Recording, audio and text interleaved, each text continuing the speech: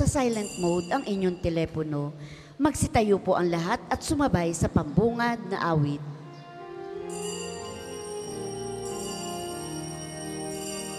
Magalak tayong lahat, si Yesu Kristo'y nabuhay, nanaig sa kamatayan. Alleluia, Alleluia. Sa ngalan ng Ama at ng Anak at ng Espiritu Santo, Amen. ang pagpapala ng ating Panginoong Kristo, ang pag-ibig ng Diyos Ama, at ang pakikipagkaisa ng Espiritu Santo nawa ay sumainyong lahat. At sumainyo rin. Muli tayong makikipagtagpo sa ating Panginoon sa pamamagitan ng banal na Eukaristiya, pagkakataon upang mapanibago natin ang ating pagtitiwala at pananampalataya sa Kanya, at pagkakataon din upang makahingi tayo ng panibagong pagpapala mula sa Panginoon. Upang tayo ay maging karapat-dapat sa ating mga pagdiriwang na ito, aminin natin at pagsisihan ang mga nagawa nating mga kasalanan. At tayong lahat ay taimtim na humingi sa Diyos ng awa at kapatawaran. Sama-sama po nating sabihin, inaamin ko sa Sa makapangyarihan makapangyarihan Diyos at sa inyo mga kapatid, na lubha ako nagkasala, sa isip, sa salita at sa gawa, at sa aking pagkukulang. Kaya ay sinasamo ko sa mahal na Birheng Maria, sa lahat ng mga anghel at mga banal, at sa inyo mga kapatid na ako'y panalangin sa Panginoong ating Diyos. Kaawaan tayo ng makapangyarihang Diyos, patawarin ang ating mga kasalanan, at patnubayan tayo hanggang sa buhay na walang hanggan. Amen.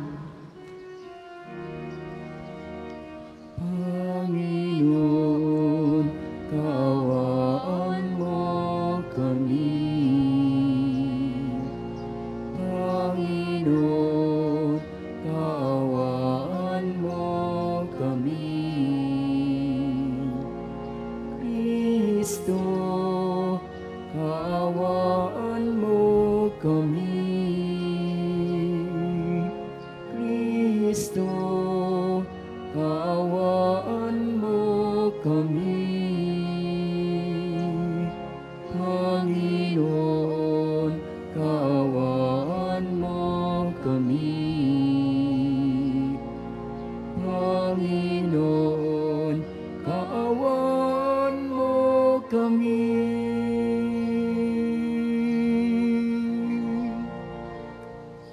Manalangin tayo. Ama naming makapangyarihan, ipagkaloob mong sa aming pagdiriwang, sa pagkabuhay ng aming Panginoong nagtagumpay, kami pagindapating makapakinabang sa ligaya ng kanyang dulot na kaligtasan, ngayong siya'y namamagitan kasama ng Espiritu Santo, magpa sa walang hanggan. Amen.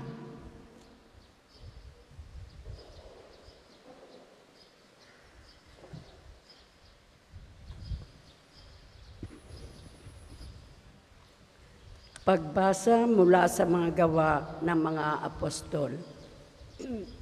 Noong mga araw na iyon, ang mga mananampalataya ay nagkahiwa-hiwalay dahil sa pag-uusig na nagsimula ng patayin si Esteban. May nakarating sa Pinesia, sa Sipre at sa Antioquia. Saan man sila makarating, ipinangaral nila ang salita ngunit ang mga Hudiyo lamang. Subalit may kasama silang ilang taga-Sipre at taga-Sirene na pagdating sa Antioquia ay nangaral naman sa mga Griego ng mabuting balita tungkol sa Panginoong Hesus. Sumakanila ang kapangyarihan ng Panginoon at maraming naniwala at nanalig sa Panginoon. Nabalitaan ito ng simbahan sa Jerusalem, kaya't sinugo nila sa Antioquia si Bernabe. Nang dumating siya roon, ay naki at makita ang pagpapala ng Diyos sa kanila, siya'y nagalak at pinagpayuhan silang lahat na manatiling tapat sa Panginoon. Mabuting tao si Bernabe, puspos ng Espiritu Santo at matibay ang pananampalataya, pananampalataya kaya marami siyang nadala sa Panginoon. Nagpunta si Bernabe sa Tarso upang hanapin si Saulo at ng kanyang matagpuan ay isinama siya sa Antioquia.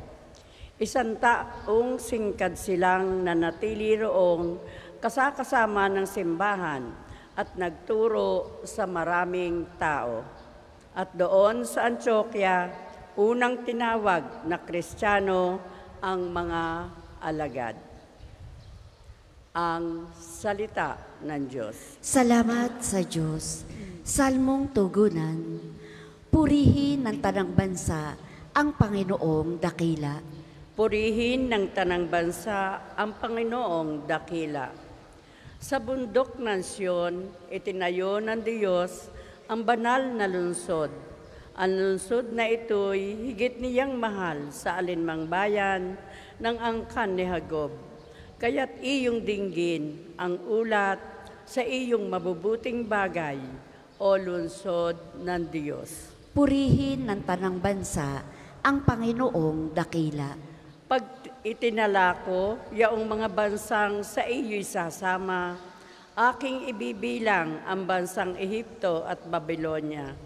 Ibibilang ko rin yaong Pilistia, Tiro at Ethiopia, at tungkol sa Sion, yaong sasabihin ang lahat ng bansa ay masasakupan, siya'y palalakasin at patatagin ng kataas-taasan. Purihin ng tanang bansa ang Panginoong dakila. Ang puon ay gagawa ng isang talaan ng lahat ng taong dooy mamamayan. Ang lahat ng ito ay magsisiawit at pawang sasayaw. Purihin ng tanang bansa ang Panginoong dakila. Magsitayo po ang lahat.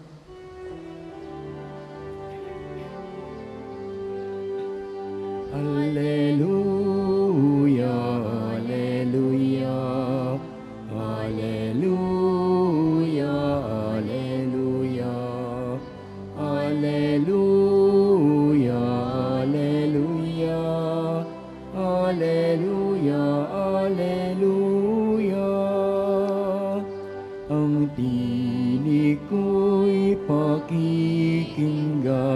ng kabilang sa aking kawan. Ako'y kanilang susundan. Alleluia,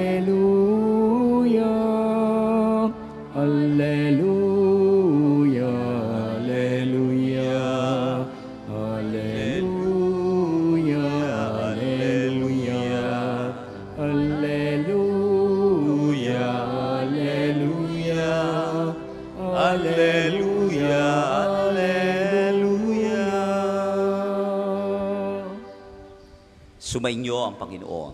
At sumainyo rin. Ang mabuting balita ng Panginoon ayon kay San Juan. Papuri sa iyo, Panginoon. Taglamig na noon, kasalukuyang ipinagdiriwang sa Jerusalem ang pista ng pagtatalaga ng templo. Naglalakad si Jesus sa templo, sa portiko ni Solomon. Pinaligiran siya ng mga Hudyo at sinabi sa kanya, Hanggang kailan mo kami pag-aalinlanganin? Kung ikaw ang Kristo, sabihin mo na ng tiyakan. Sumagot si Jesus, Sinabi ko na sa inyo, ngunit ayaw ninyong maniwala. Ang mga ginagawa ko sa ngalan ng aking Ama ay nagpapatotoo tungkol sa akin, ngunit ayaw ninyong maniwala, sapagkat hindi kayo kabilang sa aking mga tupa. Nakikinig sa akin ang aking mga tupa, nakikilala ko sila, at sumusunod sila sa akin. Binibigyan ko sila ng buhay na walang hanggan, at kailan may di sila mapapahamak. Hindi sila maaagaw sa akin ninuman. Ang aking ama na nagbigay sa kanila sa akin ay lalong dakila sa lahat, at hindi sila maaagaw ninuman sa aking ama. Ako at ang ama ay iisa. Ang mabuting balita ng Panginoon. Pinupuri ka namin, Panginoong Heso Kristo.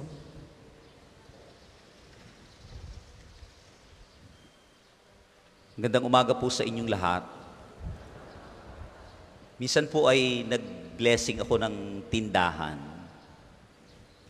Habang binabasbasan ko po yung tindahan, ay napadako ako dun sa maliit na altar sa loob.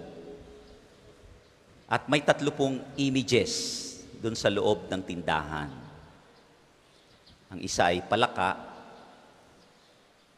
ang isa ay pusa, at ang isa ay Santo Niño. Kung nakakita na po kayo ng palaka na may pera na kagat-kagat, tapos yung pusa ay yung gaganon-ganon. Sabi ko, para saan po ito? Ay, Father, ay yung pong palaka para po pumasok ang maraming benta. Ay ano naman po yung pusa? Yung pusa po na may nangangakit ng mga customer, kaya pag ganun. Ay ano naman po itong Santo Niño? Ay di pag, uh, pag hindi po nagkaigi sa palaka, ay di dun sa pusa. Pag hindi pa rin nang, nagkaigi sa pusa, ay di sa Santo Niño. Likas po sa atin ang manigurado sa buhay. Gusto natin ay sigurado tayo. At gusto rin naman ng Diyos yan. Ayaw ng Diyos na tayo nag-aalinlangan. Ayaw ng Diyos na tayo nalilito. Ayaw ng Diyos na tayo natatakot. Gusto ng Diyos sigurado tayo sa ating buhay. Kaya tinuturuan niya tayo, ginagabayan niya tayo na makasigurado sa buhay natin. Na itong mga bagay na mun- sa mundong ito ay hindi dapat nating panghawakan o kapitan. Na maging siguradad natin sa buhay o kasiguruhan. Dahil nga ang mga bagay dito sa mundo ay hindi naman talaga magbibigay sa atin ng kasiguruhan.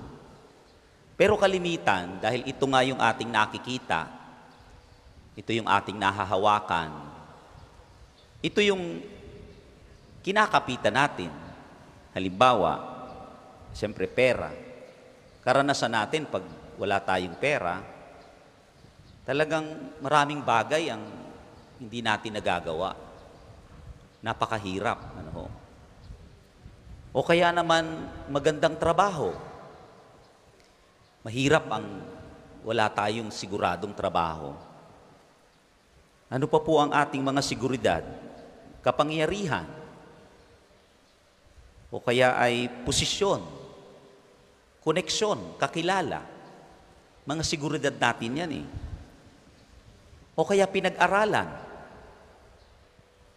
Siyempre, sinasabi natin, pag wala tayong mataas na pinag-aralan, mahirap makasigurado sa buhay. Kaya kalimitan, ito yung ating pinagsisikapan. Pero kapag ito yung naging panuntunan natin sa buhay at pinanghahawakan natin at kinakapitan, hindi natin masusunod ng Panginoon. Hindi siya yung magiging Diyos. Kasi nga, hihilahin tayo nito palayo sa Diyos. Na sa halip na ang Diyos ang mangunguna sa buhay natin, ay itong mga bagay na ito ang ating uunahin. Di po ba, maraming mga tao ang hindi na nakakasimba, hindi na nakakapagdasal, parang etsapuera na ang Diyos dahil sa busy sa trabaho. Maraming mga tao ang ang hindi naman talaga nagpapailalim sa Diyos sapagkat sa- sasabihin, eh, bakit bakit ako magpapailalim sa Diyos? Eh, kaya ko naman ang sarili ko. Bakit tayo makikipagkaibigan o itatrato ng mabuti ang mga mahihirap o maliliit na, na tao? Sasabihin natin, eh, ano naman ang mapapala ko dyan? Wala naman akong, wala namang maitutulong sa akin itong mga ito. Siyempre makikipagkaibigan ako sa mga taong may maitutulong sa akin. Kaya nga kahit pakikipagkaibigan, ay pakikipagkaibigan dahil may maibibigay. Hindi dahil gusto talagang magkaroon ng magandang ugnayan sa isang tao. Ito po ang ayaw ng Panginoon. Ito, dito niya tayo inilalayo. Kapag tayo kumapit sa mga bagay na ito, na akala natin magbibigay sa atin ng kasiguruhan, marami ding pagkakataon, ito ang nagdadala sa atin upang tayo bumagsak, mapalayo sa isa't isa, at mapalayo sa Diyos. Ang ibanghelyo po natin ngayon ay nagsasabi sa atin ng isang ka- kasiguruhan na ang pananampalataya kay Kristo ang ating kasiguruhan sa buhay. Sabi ni Jesus, tayo ay ibinigay ng Ama sa Kanya. At kailanman, hindi niya tayo bibitawan.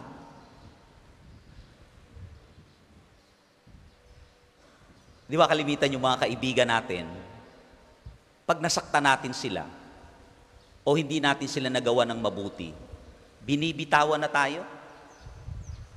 Kahit mga magulang na nawala na ng pag-asa sa anak dahil hindi nagbabago, sasabihin eh, bahala ka na sa buhay mo.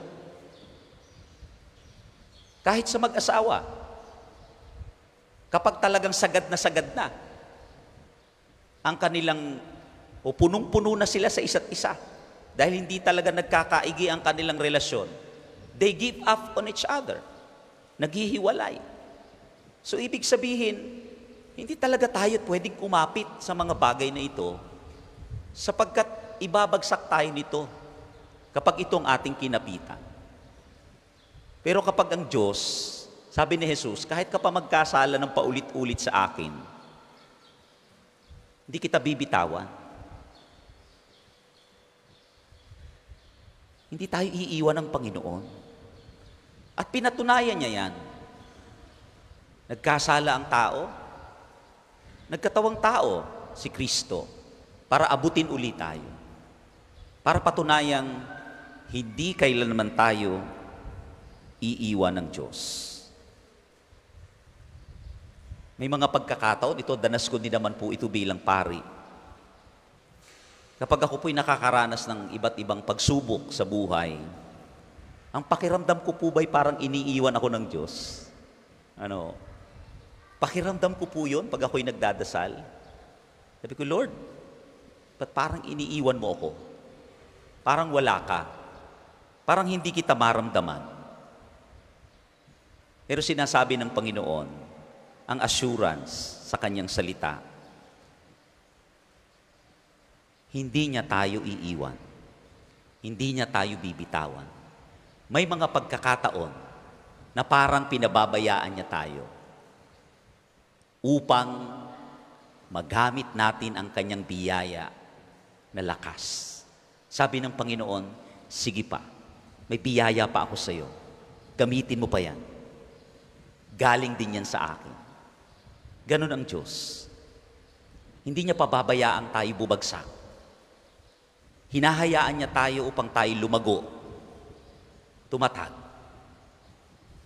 Upang sa huli, masabi, na sa, masabi natin, ang galing talaga ng Panginoon. Akala ko iniwan ako.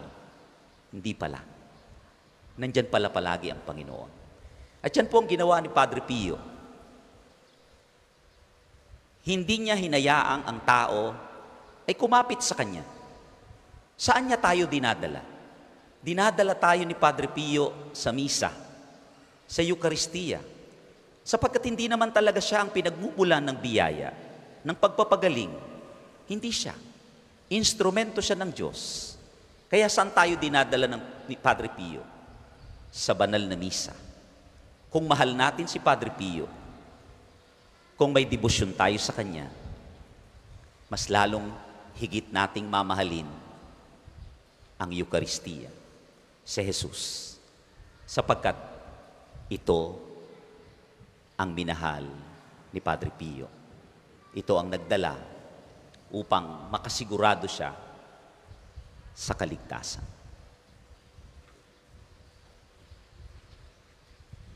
Para po sa mga maghahandog ng sobre, pakihulog na lamang po sa buslo.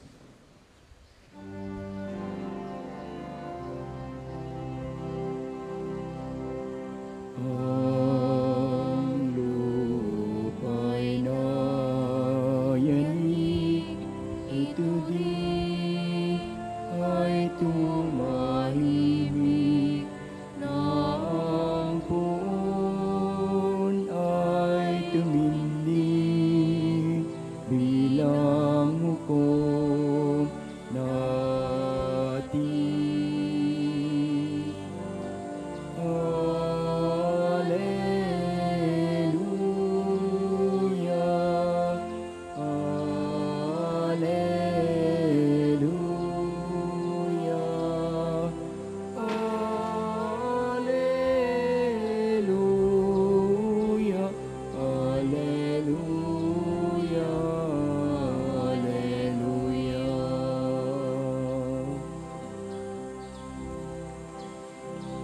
Magsitayo po ang lahat.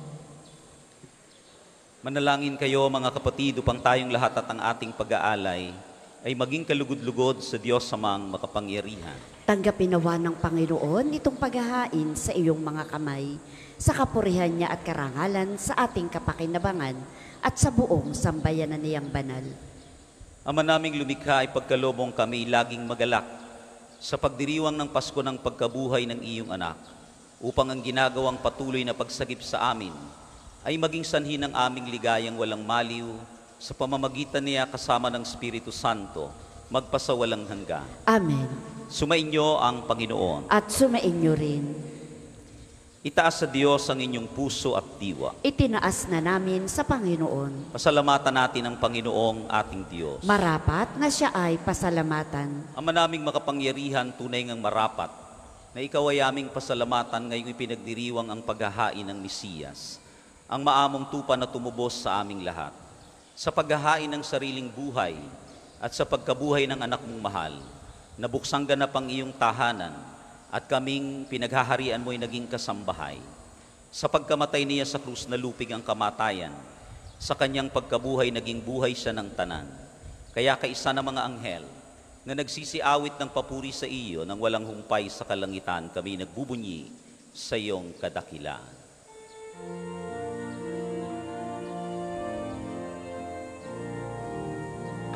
Santo, Santo, Santo, Panginoong Diyos ng mga hukbo, napupuno ang langit at lupa ng kadakilan mo.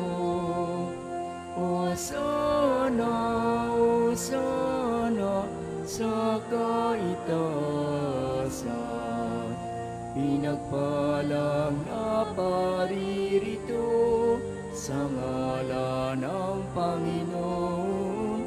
O sana, o sana, sa kaitaasan. Kung hindi po kayang lumuhod, ay manatili pong nakatayo ng may paggalang. Ama naming banal, ikaw ang bukal ng tanang kabanalan. Kaya't sa pamamagitan ng iyong Espiritu, gawin mong banal ang mga kaloob na ito, upang para sa aming maging katawan at tugo ng aming Panginoong Heso Kristo. Bago niya pinagtiis ang kusang loob na maging handog, hinawakan niya ang tinapay. Pinasalamatan kaniya. Pinaghati-hati niya iyon, iniabot sa kaniyang mga alagad at sinabi, Tanggapin ninyong lahat ito at kanin. Ito ang aking katawan ihahandog para sa inyo.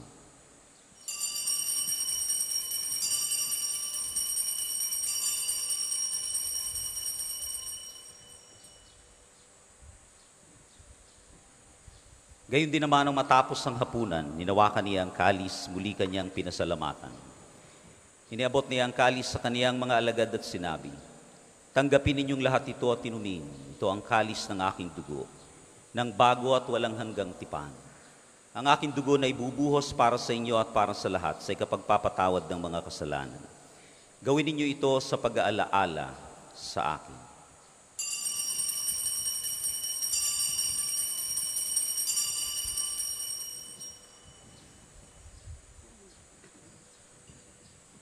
Ipagunyi natin ang misteryo ng pananampalataya. Si Kristo'y namatay, si Kristo'y nabuhay, si Kristo'y babalik sa wakas ng panahon.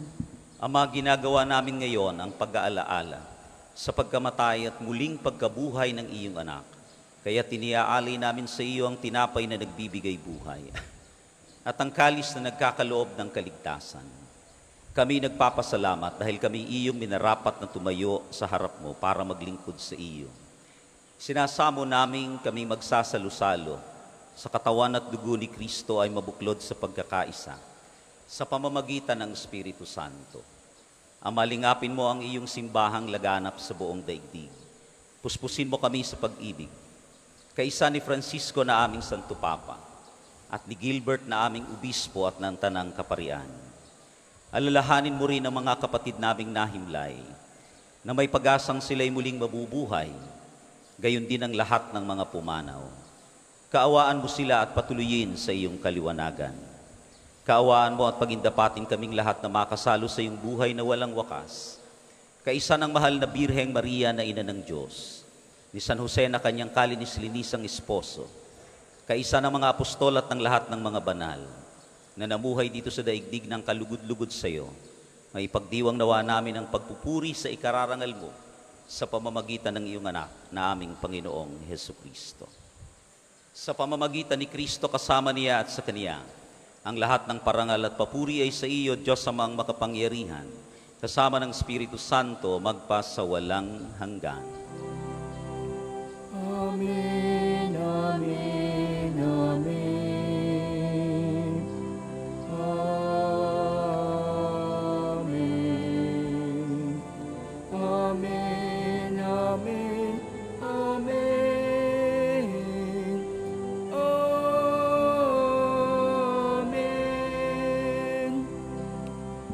Sa tagubili ng mga nakagagaling na utos sa turo ni Jesus na Panginoon natin at Diyos, awitin natin ang lakas loob.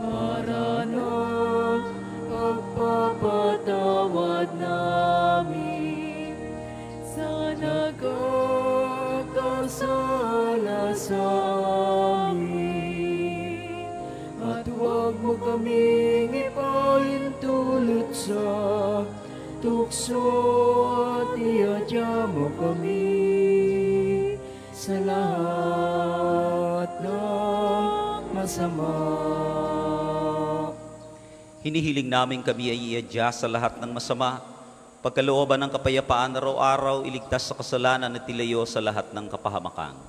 Samantalang aming pinananabikan ng dakilang araw ng pagpapahayag ng tagapagligtas naming si Yesu Kristo. sapagkat iyo ang kaharian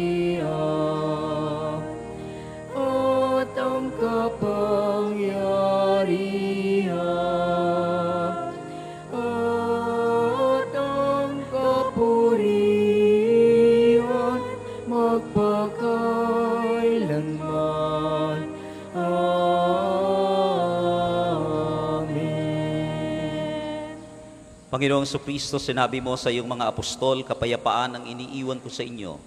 Ang aking kapayapaan ang ibinibigay ko sa inyo. Tunghayan mo ang aming pananampalataya at huwag ang aming mga pagkakasala. Pagkalooban mo kami ng kapayapaan at pagkakaisa ayon sa iyong kalooban, kasama ng Espiritu Santo magpasawalang hanggan. Amen. Ang kapayapaan at kasiguruhan na nagmumula sa ating mahal na Panginoon, naway laging sumainyong lahat. At sumainyo rin. Bigayan kayo ng kapayapaan sa bawat isa. Peace be with you po sa inyo.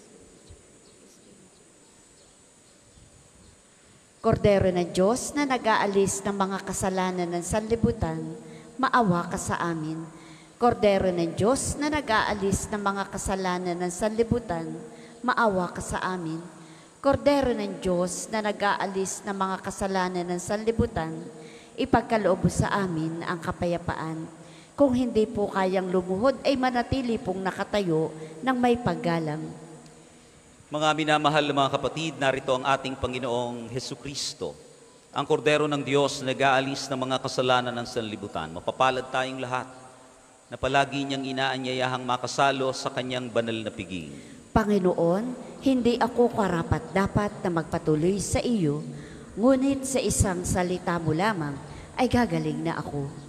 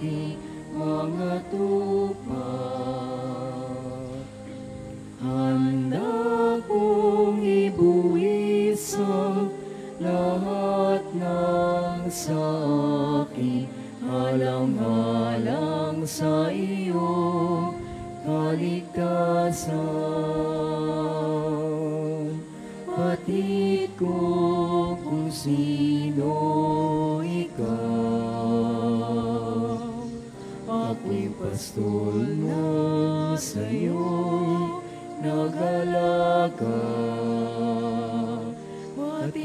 Rin kung sino ako na nagmamahal sa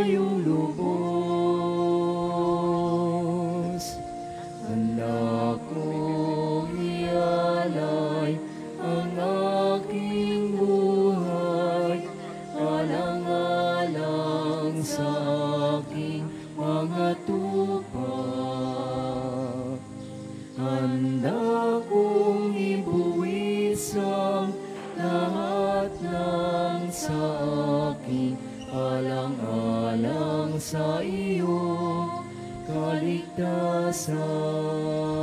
Ang isasagawa pong second collection ay para sa patuloy na pagpapaunlad ng parokya at pambansang dambana ni Santo Padre Pio at para sa mga pangangailangan ng matatanda at may sakit na mga pari ng Archdiocese ng Lipa.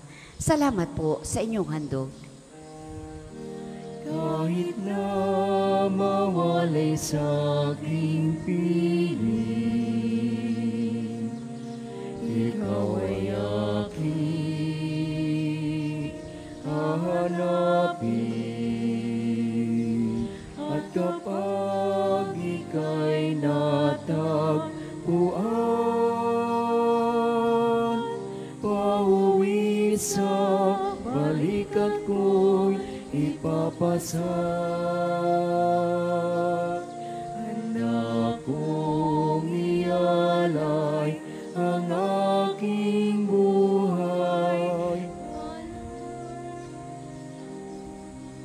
Magsitayo po ang lahat.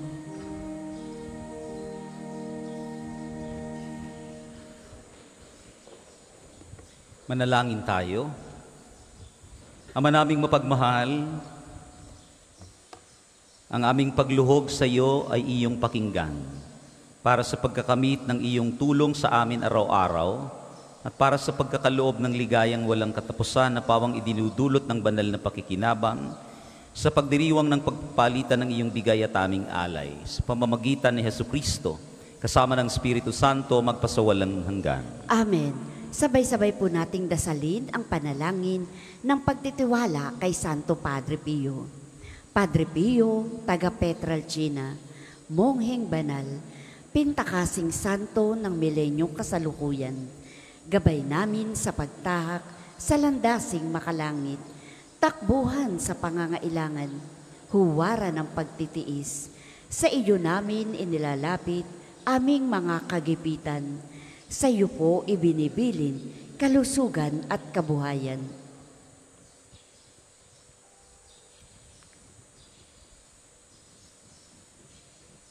Di man karapat dapat, kami po ay pagbigyan, bindisyonan at basbasan, maging ganap sa buhay. Lumayo nawa kami, umiwas sa kasalanan, lumapit lagi sa Diyos, maging matatag at matibay. Sa mabuting balita ng pagliligtas, turuan mo kami nawa. Sa tuwina ay makinig, magnilay at sumampalataya. Amin pong pakiusap, itong mga kahilingan. Puso ay nagsisisi, nagtitikang taimtiman. Di na muling magkasala, sunod lagi sa Diyos Amang, kaisa ng Espiritu at ni Jesus na tagapamagitan. Amen. Magsiupo muna po ang lahat para sa mga patalastas. Una sa inyong pagdalaw sa pambansang dambana. Mangyaring pakaingatan ang inyong mga personal na gamit. Hangad namin ang isang matiwasay at maayos na pagbisita sa National Shrine. Ikalawa, sa pagnanais nating palawakin ang dokumentasyon at datos ng mga pilgrims and devotees na bumibisita sa pambansang dambana, kami po ay nag-aanyaya sa inyong lahat na makilahok sa ginagawang paglakap ng impormasyon na makatutulong sa pagpapaunlad ng ating turismong pangsimbahan. Makikisuyo po kami na paki-scan ang QR code na inyong makikita sa paligid ng simbahan at pakikumpleto ang mga impormasyong kinakailangan. Makakaasa po kayo sa aming pag-iingat ng private information na inyong ibabahagi bilang pagsunod sa batas ng Data Privacy Act of 2012. Ang inyong pakikiisa ay malaking tulong at susi sa tagumpay ng proyektong ito. 23 ng buwan, ang araw ng pagpapagaling ng Panginoon sa pamamagitan ni Santo Padre Pio.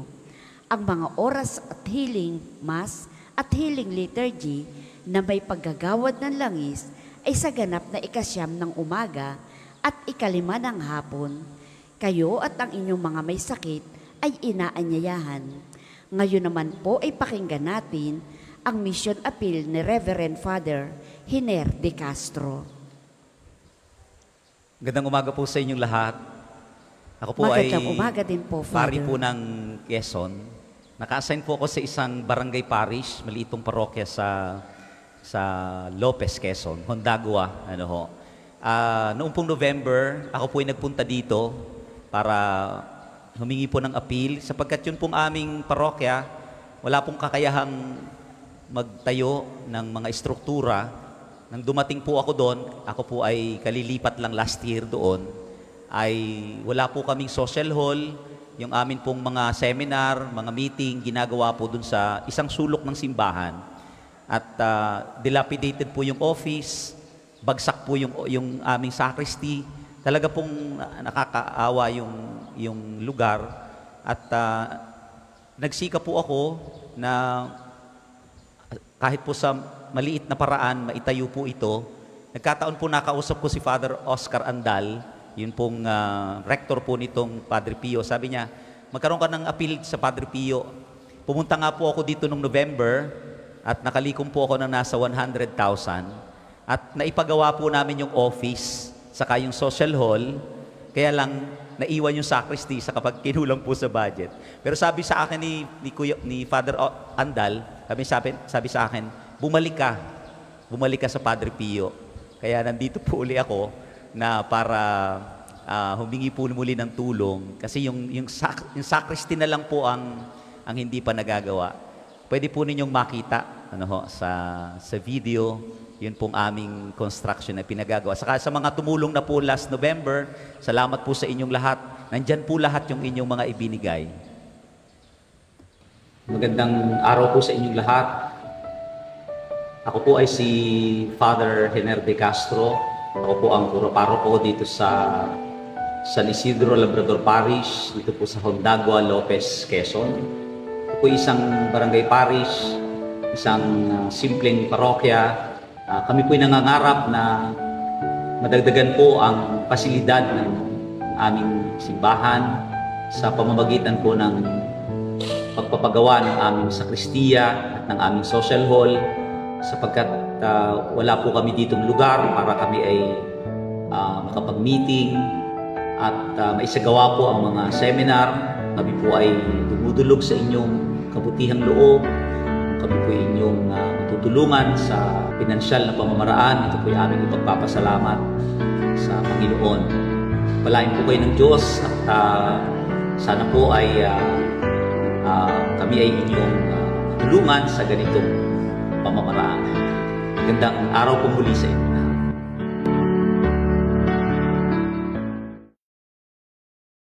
Yung social tapos na po yun.